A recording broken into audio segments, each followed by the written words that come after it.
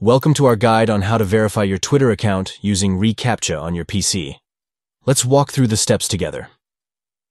First, log into your Twitter account using your username and password. Once logged in, keep an eye out for a message prompting you to verify your account to proceed. Next, click on the option to Start the verification process. As the reCAPTCHA check begins, you may notice a pinwheel or wait cursor on the screen.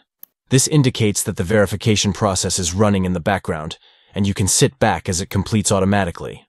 Upon successful verification that you are a human user and not a robot, you will be directed to select Continue to unlock your account.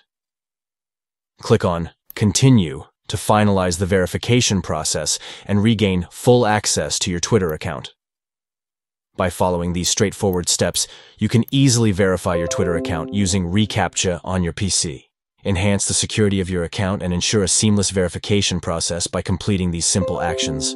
Unlock your account with ease and enjoy uninterrupted access to your Twitter profile. Remember, verifying your account using reCAPTCHA is a quick and effective way to ensure the security of your Twitter account.